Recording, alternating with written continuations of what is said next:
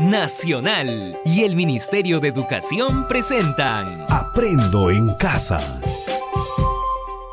Ministerio de Educación. Gobierno del Perú. El Perú primero.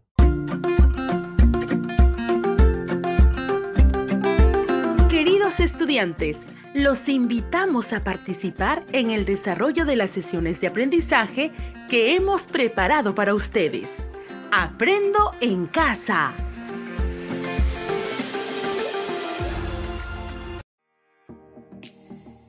Buenos días, estimados estudiantes del quinto grado de secundaria.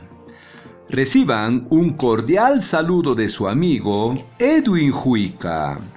Es un enorme placer reencontrarnos en nuestro programa Aprendo en Casa, una iniciativa del Ministerio de Educación dedicado especialmente para ustedes, en el cual seguiremos aprendiendo matemática con situaciones de la vida cotidiana. Iniciamos nuestro programa recordando lo que aprendimos en el programa anterior. Establecimos relaciones entre datos y acciones de comparar e igualar cantidades o trabajar con tasas de interés compuesto. Luego las transformamos a expresiones numéricas y evaluamos si estas expresiones cumplen con las condiciones iniciales del problema. ¿Lo recordaron? Seguro que sí. Muy bien. El programa de hoy se denomina Expresamos con términos financieros la solución de conflictos en la comunidad y aprenderemos a expresar con diversas representaciones y lenguaje numérico su comprensión sobre las tasas de interés compuesto y de términos financieros, como capital, monto, tiempo, interés, entre otros, para interpretar el problema en su contexto. Interesante, ¿verdad?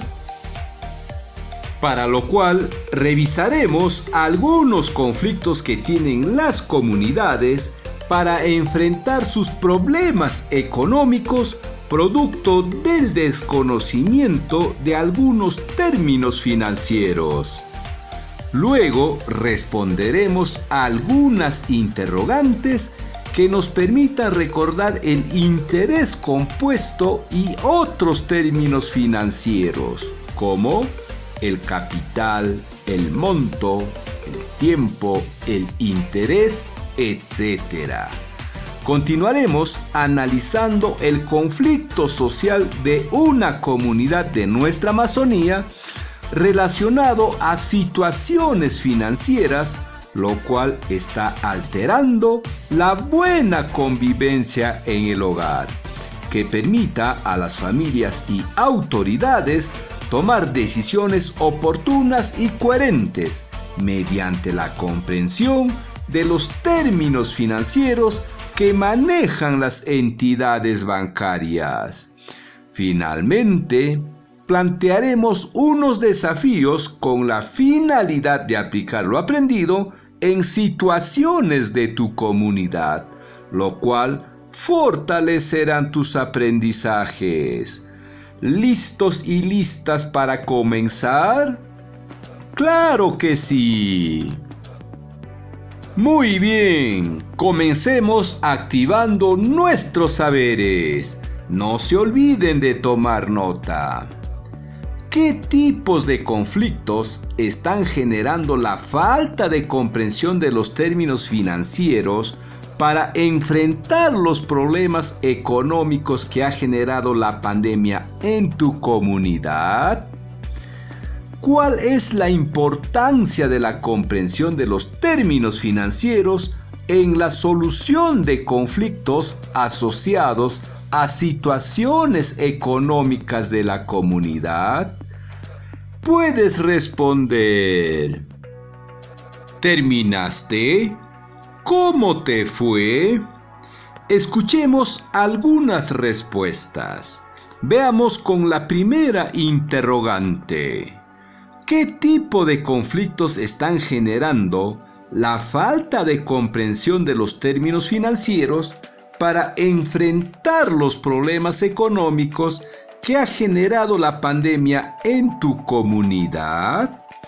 Lucero, estudiante de una secundaria en alternancia, nos dice, en mi comunidad tenemos terrenos comunales donde sembramos maíz y quinoa en 30 hectáreas, con el apoyo de la agencia agraria. El año pasado tuvimos una buena cosecha, generando importantes ingresos económicos para nuestra comunidad. Las autoridades en una asamblea informaron a todos los comuneros que el dinero estaba depositado en un banco a plazo fijo, a un interés del 2,1% que se capitaliza semestralmente por un periodo de 5 años, lo cual nos generará buenas ganancias. Muchas familias no comprendían el mensaje y algunos creían que los estaban engañando hablando muchos términos desconocidos. Por lo mismo, pedían a las autoridades una explicación con términos más sencillos para que todos comprendan. Por más esfuerzo que hacían las autoridades, no todo quedó claro, terminando la reunión con una confusión e incertidumbre. Continuemos con la segunda pregunta. ¿Cuál es la importancia de la comprensión de los términos financieros en la solución de conflictos asociados a situaciones económicas de la comunidad? Patricia, estudiante de una secundaria con residencia estudiantil, nos dice, es importante comprender de manera clara los términos financieros porque nos permite tomar decisiones responsables e informadas. Por ejemplo, el capital es toda suma de dinero que tiene una persona que ha sido ahorrada e invertida con el fin de obtener una ganancia de la misma. Otro término importante es el valor final, el cual es el monto que se recibe o se paga al finalizar una operación financiera. También se conoce como valor futuro y es igual al capital más los intereses. Ahora veamos el tiempo.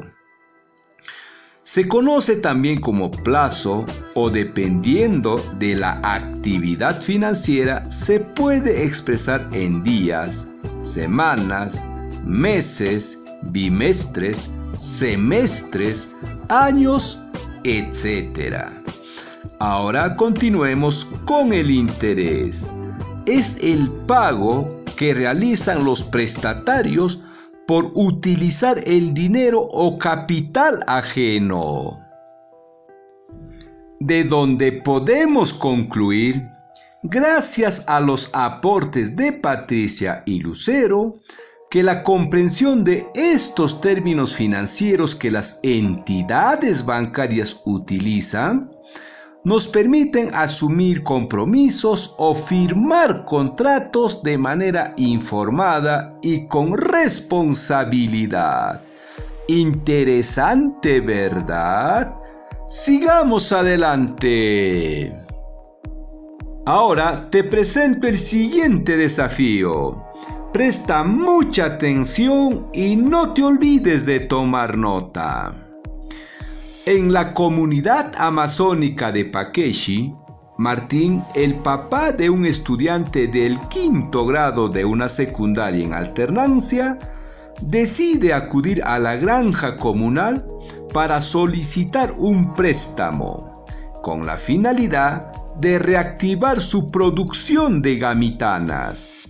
El administrador de la granja le dice a Martín, te puedo prestar el capital de 5.380 soles a una tasa de interés anual del 2,8%. Pero Martín dice, yo quiero pagar en 30 meses.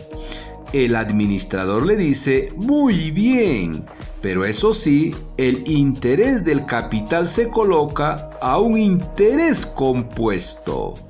Martín se retira sin haber comprendido muchas cosas y al comentarle a su esposa se genera un conflicto porque la esposa piensa que el administrador se está aprovechando de ellos y eso generó más dudas en Martín, quien se pregunta, ¿cómo puedo determinar el monto que pagaré luego de los 30 meses? ¿Cuánto es el interés que me estarán cobrando por este préstamo? ¿Me conviene o no? Ayudemos a despejar las dudas de Martín. Puedes iniciar. ¿Terminaste? ¿Cómo te fue? ¿Con algunas dudas? No te preocupes, ahora lo revisamos y no te olvides de tomar nota. En primer lugar, veamos si comprendimos el problema, para lo cual responderemos algunas interrogantes. ¿Para qué se acercó Martín a la granja comunal? Para solicitar un préstamo con la finalidad de reactivar su producción de gamitanas. Las gamitanas son peces de agua dulce y viven en los ríos. Además, el administrador de la granja le ofreció prestar 5.380 soles. ¿Cuáles son los términos financieros que emplea el administrador y confunde a Martín? Los términos financieros que emplea el administrador son capital, que consiste en el monto inicial para comenzar la producción de las gamitanas. La tasa de interés anual del 2,8%. Es decir, que cada año le cobrarán el 2,8% del capital pero este monto se capitaliza, es decir, este interés cada año se suma al capital inicial para el cálculo de los intereses del siguiente año, porque indicó que el capital se coloca a un interés compuesto y el tiempo que asume el crédito es de 30 meses. Con los datos analizados y comprendidos, podemos responder a la primera pregunta de Martín. ¿Cómo puedo determinar el monto que pagaré luego de los 30 meses? En primer lugar, debemos tener claro que se trata de un interés compuesto, lo cual significa que cada año el dinero se capitaliza, es decir, que al capital inicial se suman los intereses ganados el año anterior. ¿Recuerdas la fórmula del interés compuesto? Muy bien, es el capital final igual al capital inicial por 1 más i al exponente n. Sigamos. Veamos otro aspecto importante. La tasa de interés es el 2,8% anual y el tiempo en el que pagará Martín es en 30 meses. Por lo tanto, las unidades temporales deben ser las mismas. Es decir, si la tasa de interés es anual, entonces debemos expresar los 30 meses en años. Recordemos, si en un año tenemos 12 meses, entonces en 30 meses tenemos 2 años y medio, lo cual podemos expresarlo como 2,5 años. ¡Excelente! Ahora interpretaremos los datos del problema. ¿Te parece? El capital final es el monto que pagará Martín al final de los 30 meses. El capital inicial es el dinero que recibirá Martín por el préstamo, que son los 5.380 soles. Y la tasa de interés anual es el 2,8%, lo cual podemos expresarlo en decimales para trabajar mejor. 2,8% lo podemos expresar como 2,8 sobre 100. Y efectuando esta división obtenemos 0,028 o 28 milésimos.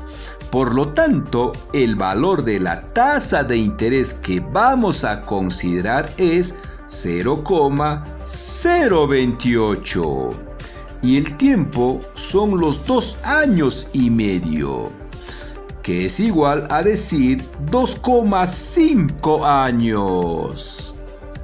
Con los datos completos podemos calcular reemplazando en nuestra fórmula. Capital final es igual al capital inicial por el factor 1 más i al exponente n. Reemplazando sería capital final es igual a 5380 que es en nuestro capital inicial por el factor 1 más 0,028 al exponente 2,5. Continuemos. Primero resolvemos lo que está entre los paréntesis, es decir, sumamos 1 más 0,028, obteniendo 1,028 al exponente 2,5. Ahora efectuamos la potencia.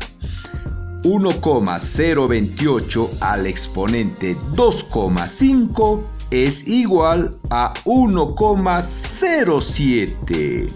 Finalmente, multiplicamos los 5380 por 1,07, resultando 5.756 soles con 60 céntimos.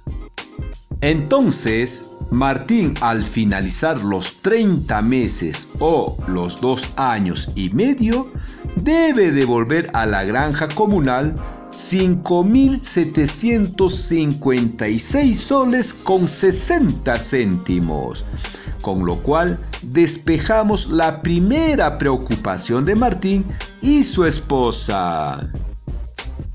Ahora sigamos con la segunda y tercera pregunta. ¿Cuánto es el interés que me estarán cobrando por este préstamo? ¿Me conviene o no?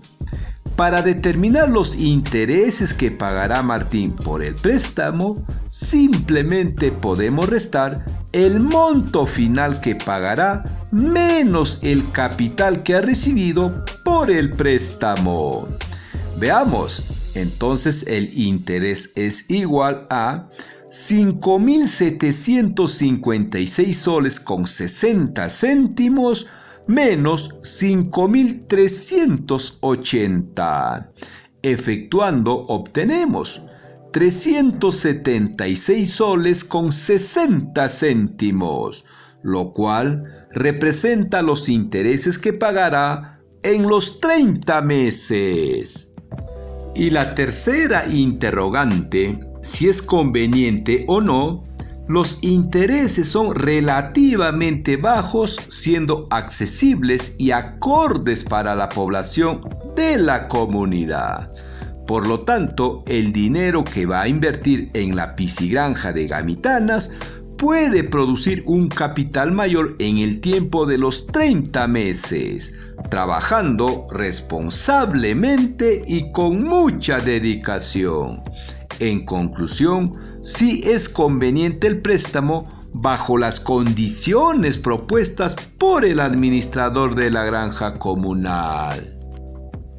Finalmente, podemos concluir que para comprender y aprovechar las ofertas del sistema financiero formal del país, brindadas por las cooperativas, bancos, cajas de ahorro, etc., y evaluando cuáles se acomodan a nuestros intereses y necesidades, el conocimiento del interés compuesto y los términos financieros es fundamental.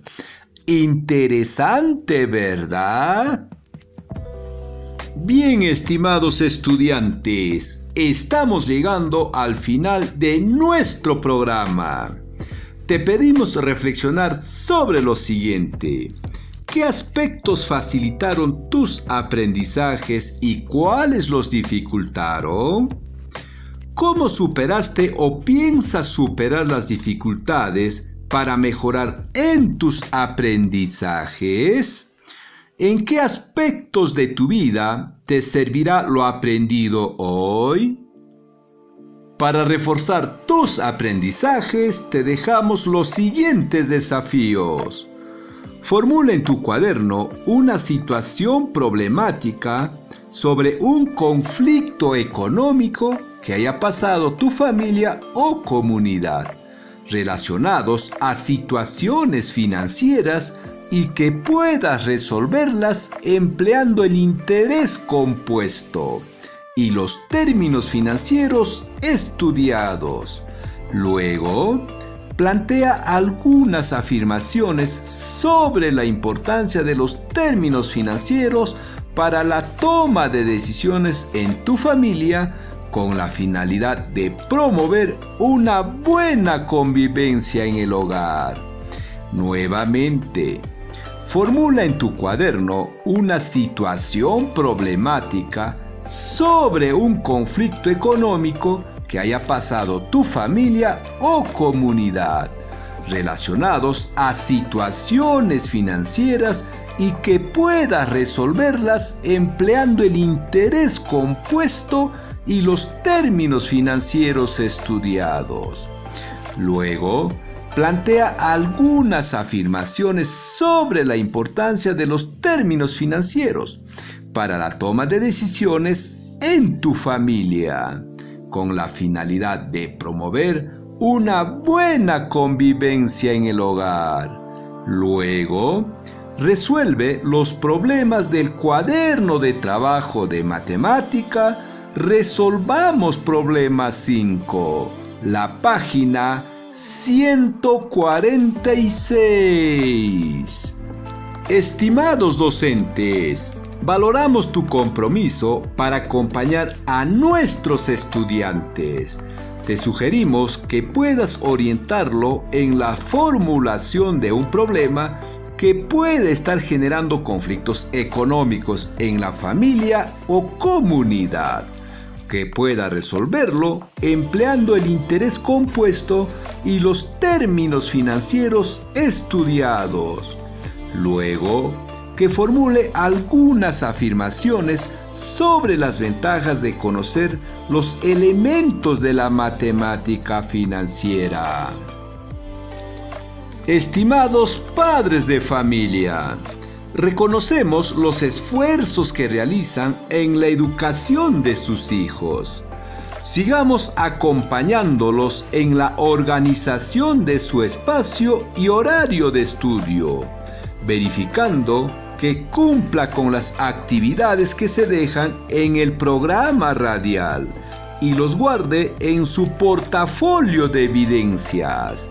No te olvides, trátalo con amor, paciencia y mucho respeto, lo cual contribuirá en la buena convivencia en tu hogar.